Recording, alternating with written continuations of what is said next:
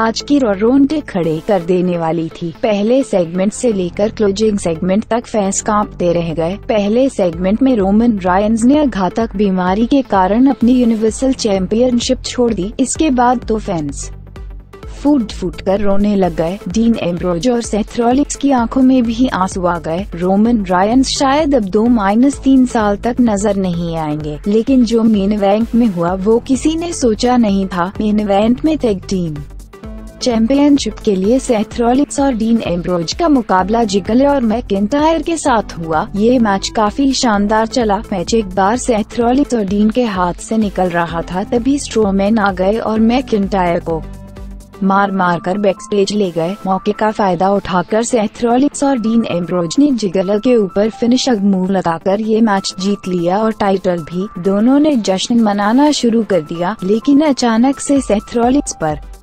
Dean Ambrose ने डार्डी डिड्स मार दिया। शील्ड का इसके बाद तो अंत ही हो गया। इसके बाद डीन एम्ब्रोज ने गुस्से में सेथ्रोलिक्स को बुरी तरह पीट दिया। फ्लो पर भी नीचे सेथ्रोलिक्स को उन्होंने डार्डी डिड्स मार दिया। एक ही रात में दो बड़े फैसले। ये काफ़ी चौंकाने वाले थे। पूरा डब्ल्यू डब्ल्यू यूनिवर्स आज हैरान हो गया है। फैस चौंक गए कि आखिर ये हो क्या रहा है। खास तौर पर तब जब सेथ्रोलिक्स को डीन एम्ब्रोज मार रहे थे। पूरा एरिना शांत हो गया। फैस सवाल पूछ रहे थे कि डीन ऐसा क्यों कर रहे हो? पहले रोमन गए और इसके बाद अब शील्ड टूट गई है। डीन एम्ब्रोज और सेथ्रोलिक्स अब अलग अलग रन करेंगे। दोनों एक दूसरे के दुश्मन बन गए हैं। डीन एम्ब्रोज ने ऐसा क्यों किया? अब इसका जवाब तो अगली रॉ में ही मिल पाएगा। जेड न्यूज़ की रिपोर्ट।